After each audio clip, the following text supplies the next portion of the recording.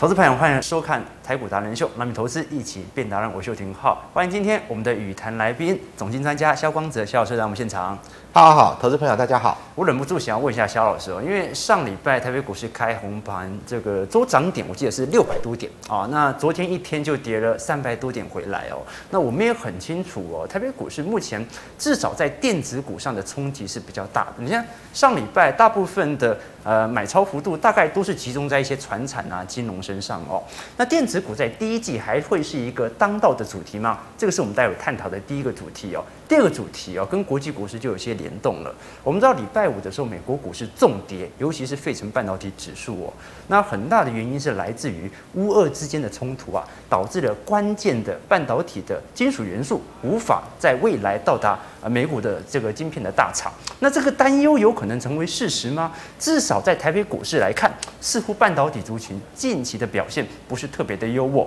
所以我想先从大盘的角度来跟肖老师做一些探讨。我们知道，即使哦。台北股市在昨天重跌，可是从基期、从均线角度来看，台股目前是比欧美股市还要来得强劲。那就有两种思考点啦：到底目前台北股市是强者恒强这样角度来看待，还是它具有一个补跌的效果呢？校车官呃，我想在整个全球金融市场，它是联动性的，因为。资金无领域嘛，哈，就是说，呃，美国的资金也可以投投资台股，那台湾的资金也是可以去投资美股，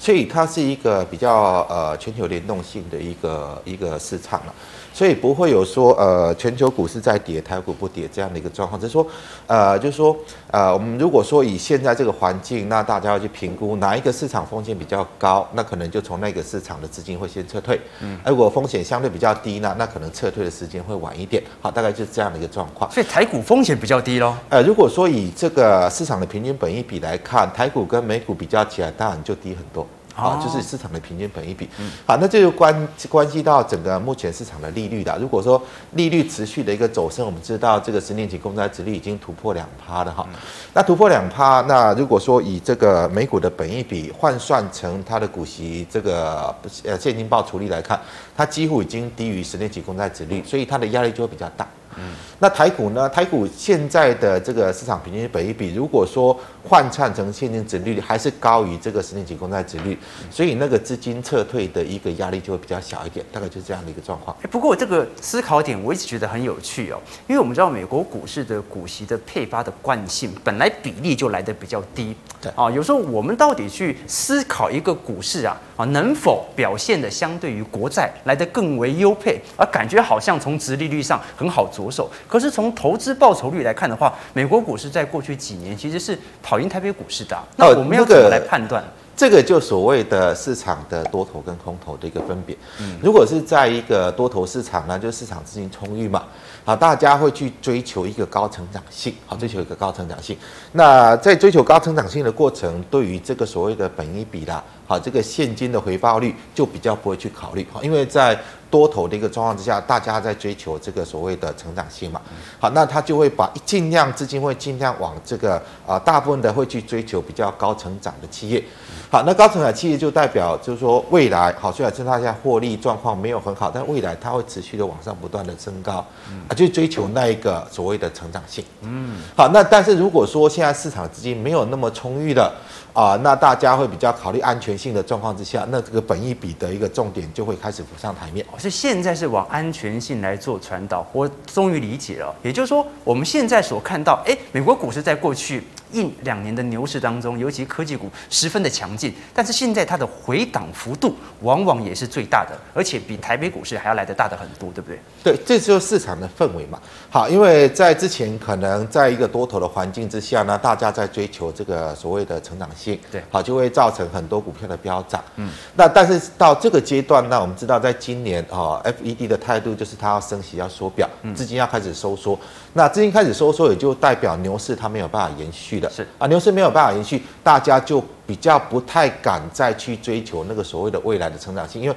未来的成长性随着资金的收缩，市场的一个啊整个大环境的改变，可能啊现在在成长的未来不一定会成长。嗯，啊，所以这个追求成长性的这个动能就减弱。那反过来呢？如果说现在啊市场开始要收缩，会不会市场会从牛呃牛市转为熊市？好，这个疑虑就出来。那当这个疑虑出来呢，大家就会开始去啊追求审视一下安全性。我看一下，呃，现在的这些股票的部位，这个安全性高不高？嗯，啊，不能够只是光追求成长，因为追成长已经开始出现变数。是，那就会开始审视现在的实际的投资价值，就是所谓的本益比这种安全性的一个考量就会出现。哎，那这这样子这样子就有趣了，就是说，如果我们从纳指综合的线图来做观察的话，其实纳指它也算是部分的反映这种紧缩政策所造成啊高本益比、高成长股的估值的下修。那下修到现在这个区间，肖老师，你认为是差不多有一个底、一个大概吗？还是说目前仍然有持续下修的可能性？呃，我想如果说以这个形态来看哈，它就是一个一个反转形态很明确嘛。嗯。好，但是因为这个所谓的美国的升息缩表，哈，以现在大概呃二月中，它大概三月中才会正式做启动。对。好，下一次的联储会会议，所以如果说以现在还没有迫切的急切性，好，当这个股市一波的一个大跌了，它会造成的就是呃大家在追砍的意愿可能就不高。嗯，好，那另外的话，如果说还持续的看好股市，啊，这种比较投机性的资金，或许啊认为跌这么多的，我进场去抢一个反弹，会有一个反弹的空间利润，好，就会造成在这里一段跌势之后，它会开始震荡，好，多空的力道会开始在这里出现一个对抗震荡的状况，好，但是我们很明显看到，呃，在其实过年过完年这一段期间，它弹上去到那个头部颈线的压力，为什么没有办法再往上走？因为你跌多的时候，大家可舍不得卖，但你弹起来了，弹起来想要逢高卖的卖压又会出来，嗯，好，所以如果说以这样的状况呢，它有可能会在这个区间稍微做震荡，然后如果正式的开始资金开始收缩，好，开始升息，开始缩表，那整个市场的卖压就会更重，它就有可能会再往下破，啊，整个形态再往下走。短期上来看，的确还有反弹的可能性。可是从中长期来看的话，还是要看联总会整体缩表的进度和影响。对对。可是我们拉回来看一下台北股市啊，哎，似乎跟纳指综合是完全两个不同的世界啊。刚才也讲到了，因为台北股市本益比比较来的低，所以受到比较这种安全性资产的青睐。那我就好奇了。那如果美股啊联总会后续的缩表行为、升息行为后续产生之后，这种看起来比较保本、比较防御性的市场，它会跟着往下补跌吗？我想，呃，跟着往下走是一个必然的，因为我们用一个很简单的逻辑哈。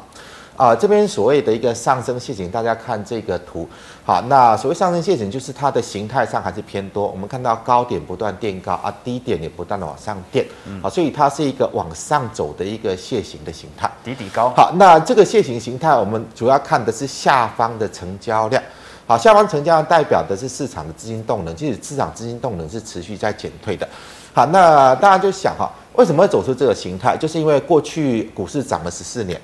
啊，大家对于这个多头的惯性的思想还是存在。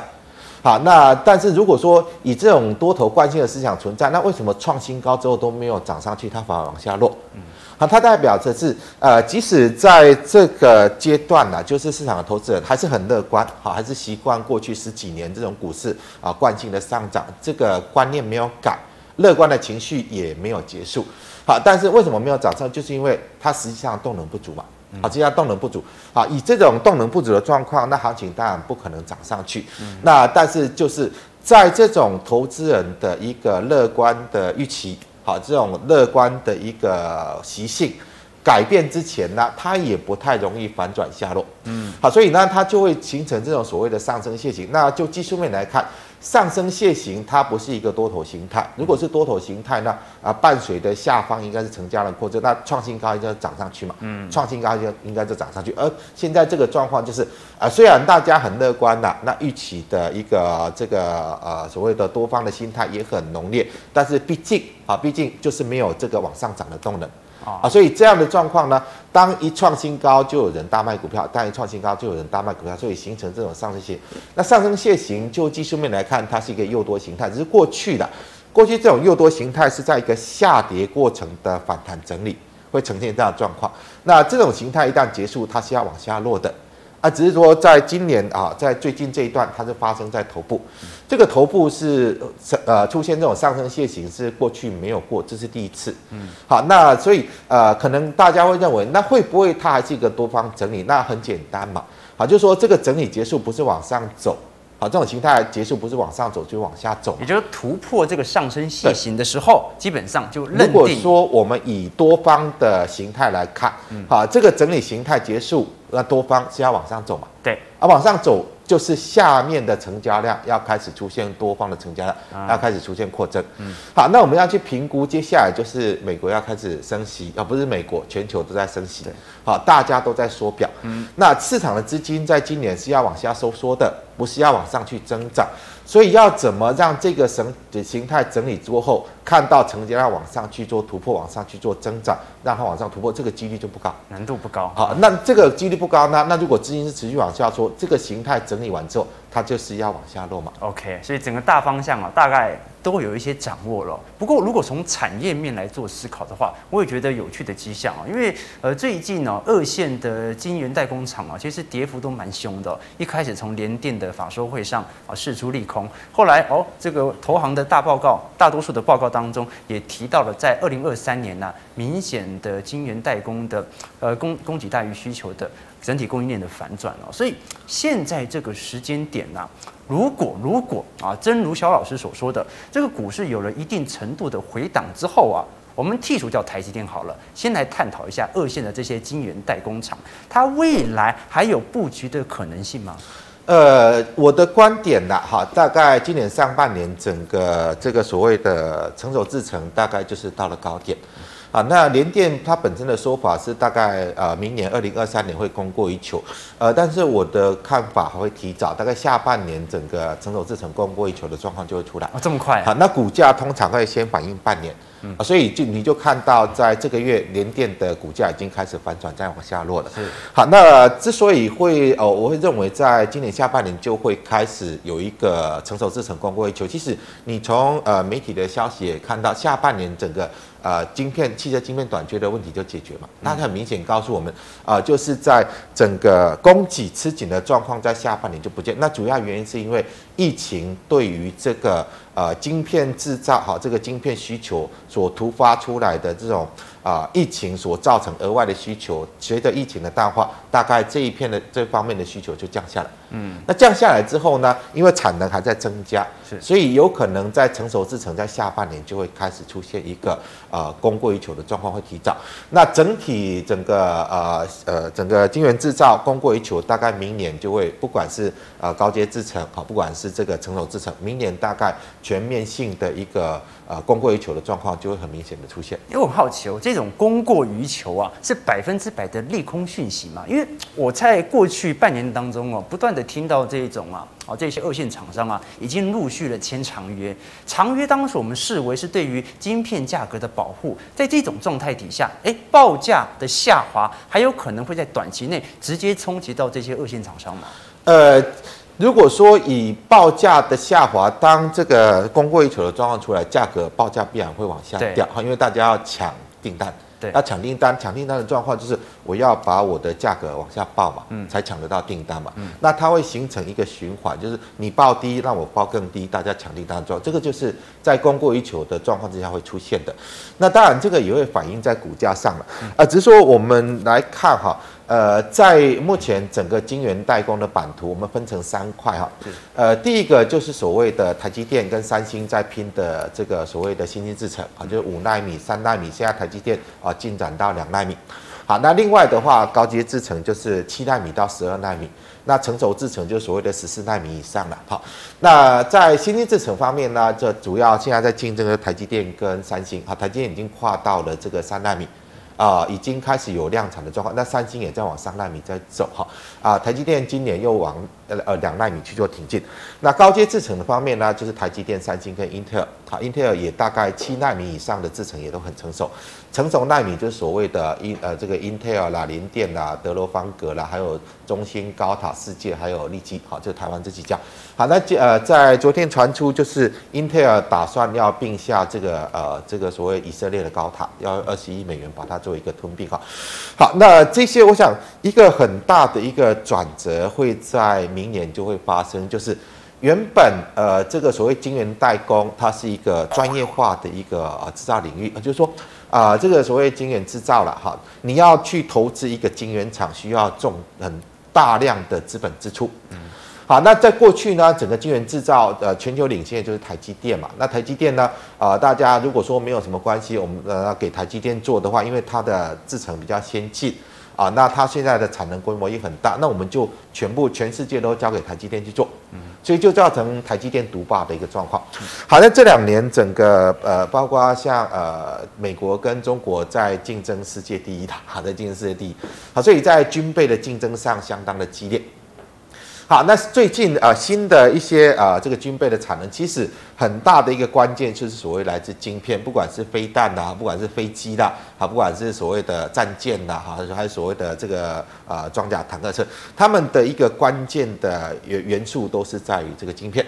啊，如果说晶片被受到控制，它可能国防就瘫了，好，可能可国防就瘫了。好，那这样的一个状况，从去年开始啊，美国又开始重新扶植 Intel，好，为什么？因为他觉得不能够把这些关键晶片交给台积电去做代工，他必须要扶持他呃国内的一个制造。像中国在去年也是大规模、大力、大量的资金还有人员投注在中心，为什么？因为他们也要开始寻求一个晶片的一个自制能力。好，这个都是关系到这两强。那包括欧洲现在也开始要扶持一个呃晶片的一个自主能力，好，自主制造的一个能力。好，所以我想到明年呢，呃，整个呃这个所谓的晶圆，它就不是一个。纯粹的大家商业的考量，好做一个啊、就是哪边便宜哪边做得好就给哪边做，所以整个台积电在晶圆制造独霸的局面，在明年大概就改观了。嗯，好，明年整个呃全球大概会增加二十九座的晶圆厂。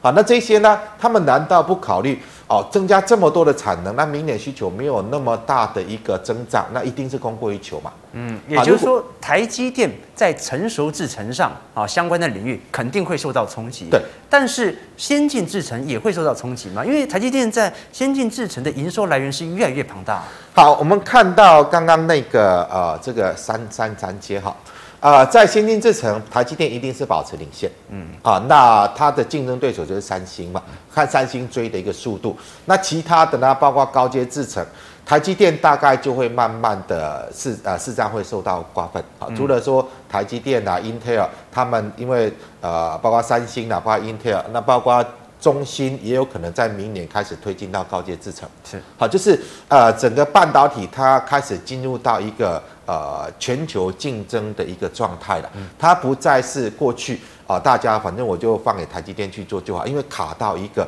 所谓的这个国防自主、好国防安全的一个国家安全的问题，它已经进入到全球的一个竞争状态。嗯，好，那这次我就来聊一下指标股喽。如果联电它作为成熟制程的代表的话，两个问题：一，它的股价今年是不是已经见高点？二，它往下跌，跌升了，可不可以来做一些实体的建测？呃，就是从整个大环境来看呢、当然呃，刚刚谈到的呃，联电不可能跨到先进制程嘛。啊，对，啊，它连高阶制程都还有蛮大的距离，它就是稳守在这个所谓成熟制程。那成熟制程呢，当这个产能过剩、竞争最激烈的，一定就是在成熟制程。好，因为它是所有人都可以做，连台积电也可以做啊。嗯，啊，台积电现在产能满载，它除了先进、高阶、成熟制程，它也都在做。嗯，好，到到今目前为止，它也都在做。所以呢，竞争最激烈一定在成熟制程，其次呢是高阶制程。那竞争最少的就是在先进制程。嗯，好，那它一旦产能过剩呢，成熟制程它的这个供过于求的状况一定是最严重。嗯，好，所以联电我的看法，它的高点已经出现了，已经出现了。好，我们看在这两年它的股价从十几块哈，这个一路往上去做飙涨，其实主要是来自于疫情所造成。好，疫情呢啊、对于这个科技产品啊、市场的需求，因为疫情的一个关系，哈，大量的一个额外的增加。嗯，好，那增加出来之后呢，再加上一些产品的科技化，包括像啊、汽车的科技化，那个晶片的需求就会增加很多嘛。是，好，但这个我想这样的一个需求，随着疫情的开始影响开始下降，好，疫情所造成出来的额外的需求大概就会消失。啊，那如果说产能不变呢，但是需求开始因为疫情的淡化啊的影响开始淡化，那需求开始往下降的话，有可能在下半年成熟制程的供过于求的状况就会出来。等于中长期的建仓要稍微小心一点了。但是如果那短期内连电我已经被套牢的话，短期内我是有一个解套的反弹的可能性吗？呃，短期啦，如果说它有反弹来到这个空方缺口的下缘，它大概就是一个啊、因为整个头部形态的颈线压力就在这里，嗯，好，所以如果说你有套牢的反弹到今天那个位置，我是认为应该要卖，好，因为一旦这个过去两年的融景结束，那明年又严重供过于求的状况出来，它有可能会回到原先的一个起涨位置，好，就是整个产业又回到疫情之前的常态化的一个状况，有可能再出现。好，成熟制程要稍微小心一下了。但是我们看一下台积电哦，因为台积电最近有趣的一件事情是，我们知道过去一年呐、最看衰台积电的其实就是大摩啊，大摩当时把台积电的目标价定在五百八十块，但近期哦。大摩仍然把台积电的目标价开始有所抬升，提升到七百八十块了。所以我们在中长期或者从短期的角度，台积电的股价过去已经盘整了一年，那今年整个行情我们要如何做期待呢？假设它的确也会受到部分的产业冲击，那么我们给它的预估的目标价应该要怎么看比较合理？其实台积电就今年的状况来看，应该还是会维持不错啊。毕竟在先进制程，它目前呃三星要追上它，可能还需要一些时间。嗯呃，高阶制程方面呢，今年大概问题也不大。好，下半年会有问题是在成熟制程。好，但是如果说就基本面状况来看的话，今年没有问题没有错。但是呃，以台积电的目前的价位，你去呃算一下它今年的所谓的股息值利率，其实已经低于十年期公债值利率。嗯，好，那当如果当十年期公债值利率持续的往上走，那台积电它所面临的价格压力、股价的压力就会越来越大，。老师，你这样讲我就有趣了、就是说，如果因为台积电是台北股市的一个代表性的全职股嘛，那我们知道台北股市哦，啊，从国际股市的角度来看，它的值利率是偏高，可能也是近期比较受到吹捧的主因。但是，一个台北股市当中最大的全职股，它的股息值利率居然低于十年期公债值利率，这我们要怎么做理解？台积电它到底对外资来讲是一个可以安稳领息的地方，还是它已经变成成长股了？呃，台积电其实它已经不具这个所谓的股息直利率的吸引力，因为呃，如果说我们以这个退休基金来好来看好了，他们呃现在你去考量，我买台积电去领那个股息。比这个十年期公债值率还低，那绝对不划算、啊！毕竟台积电股价会有波动。对。啊。那你买呃这个公债，它是一个固定固定配息，是。而且呃公债价格的波动比较不大，好比较不大，好，所以呢，你现在如果说呃台积电的这个股息值已经低于十年期公债值，它就会对这种保守资金的呃买盘的吸引度就会降降下来，好，就大家就比较不愿意去买台积电，所以就会造成它的股价很难再往上走。好，这个是有今年来看，但是大家要想到的是，明年好，明年整个全球晶圆制造的这个状况会出现大改变。好，就是啊、呃美国要开始开始自己去生产，中国要开始自己去生产，连欧洲都想自己去生产，也就是台积电这种独霸的局面，大概到明年过后就永远不会存在。嗯，就永永远呢、是永远不会存在啊，啊，不是说呃明年稍微不存在，那以后还是会存在，因为这个趋势的发展已经出现了变化。好，晶圆制造趋势的发展已经出现了，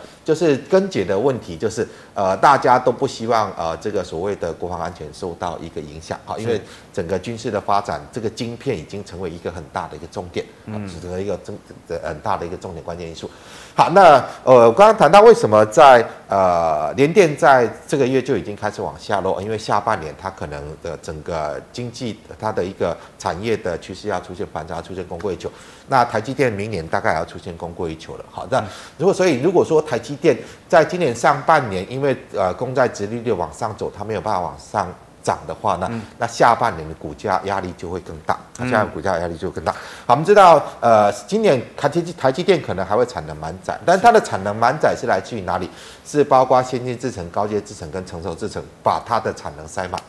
啊，但是接下来呢，下半年可能成熟制程它会受到啊这一些其他的啊，包括联电呐、力积电呐，还有像 Intel 啦，还有像啊中国的中芯开始抢价抢单，开始杀价抢单，它可能在成熟制程方面的订单就会往往下掉。可能就没有那么多了。那明年呢，高阶制程，三星也要抢，Intel 也要抢，好，那可能在明年高阶制程的订单也就减很少，那就会开始往下。那你要去想，就算台积电明年推进到二纳米，好，先进制程再往上去推进，它它能够只用先进制程的订单把它的产能全部。补满嘛，这是不可能嘛，嗯因为它今年又要超过一兆的资本支出，也这代表它明年啊这个晶圆厂要出来很多，产能要扩大很多。所以如果说以明年来看，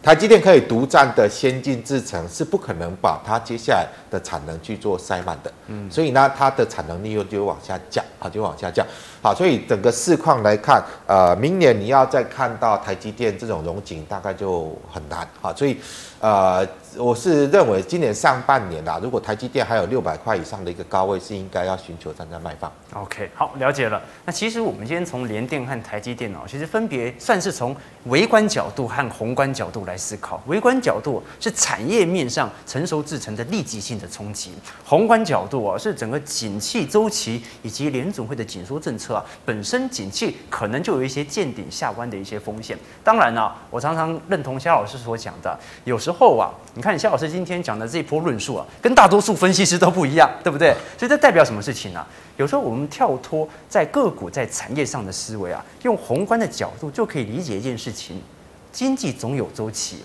我常跟投资朋友分享一句话：人类的物质文明啊，虽然不断在进步，但是人类的精神文明从来没有变过。历史。就是会不断的重演，有泡沫也会有泡沫破裂的时候，有景气的上行周期也会有下行周期，不是看坏未来全球的市场，而是。我们就要在这个周期当中寻找自己符合在哪一个点位身上啊！当然，肖老师有更多的想法啊，更多大家有更多的问题，想要跟肖老师来做一些请教的话，也可以大家啊欢迎各位可以加入肖老师的 Telegram 以及 Line，It，或者本身有一些个股上的一些问题、产业上的问题、宏观上的一些见解，想要寻求肖老师的帮助的话，也欢迎各位可以多多利用这些工具提供给观众朋友啦。那投资朋友如果喜欢我们巨曼的节目，记得帮我们订阅、按赞、加分享哦。我们就下期再相见啦，拜拜。